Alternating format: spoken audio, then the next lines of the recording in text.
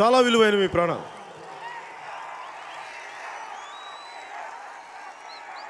నాకు పంతొమ్మిది వందల అరవై అరవై రెండులో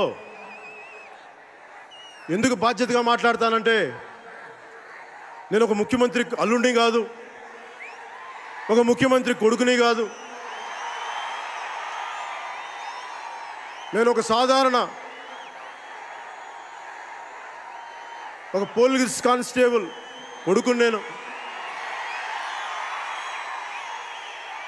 పంతొమ్మిది వందల అరవై రెండులో మా నాన్న ఇక్కడే మంగళగిరిలో ఇక్కడే పోలీస్ కానిస్టేబుల్గా పనిచేశాను. ఇంకా అప్పుడు పుట్టలేదు అనుకోండి. నేను పుట్టింది బాపట్ల.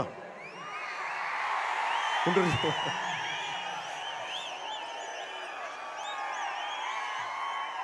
అంటే ఎందుకు బాధ్యతగా ఉండాలి అనడానికి రాజకీయాల్లో నాకు మీ అందరూ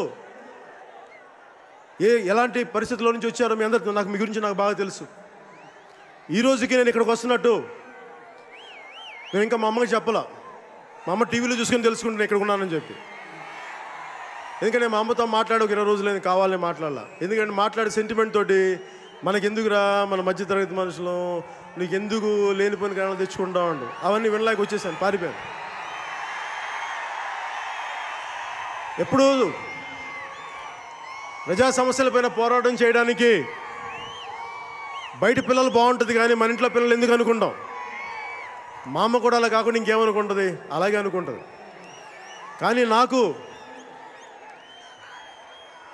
సమాజం పట్ల ప్రేమ మీ పట్ల ఆప్యాయత దేనికి ఉండదు? సాటి మనిషి మీద ఉన్న ప్రా ప్రేమ అంతే.